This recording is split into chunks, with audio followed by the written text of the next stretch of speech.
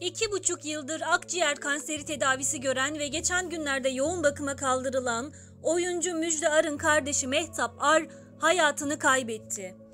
Merhum sanatçı Aysel Gürel'in oyuncu kızı Mehtap Ar 6 Nisan'da 64 yaşına bastı. Usta oyuncu Müjde Ar Instagram hesabından 3 aydır yoğun bakımda tedavi gören kardeşinin doğum gününü duygusal bir mesajla kutlamıştı. Canım, biriciğim, kardeşim, kalbimin yarısı, her şeyim bir an önce iyileş. Mehtap Ar 6 Nisan 1957'de İstanbul'da dünyaya geldi.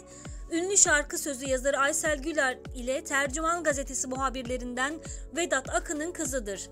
Müjde Ar 3 yaşındayken anne ve babaları ayrıldı. Ayrıldıklarında annesi Mehtap Ar'a hamileydi. Ablası Müjde Ar da sinema oyuncusuydu. Ablası ile birlikte dedesinin yanında büyüdü. 2000 yılında Mehtap Ar Çocuk Tiyatrosu adı ile çocuk tiyatrosu kurdu. Turnelere çıkarak Anadolu'yu dolaştı. Mehtap Ar ilk evliliğini 17 yaşında tiyatrocu biriyle yaptı. Kısa sürede boşandı. Mehtap Ar'ın ikinci evliliğinden Söz Ar adında bir oğlu var.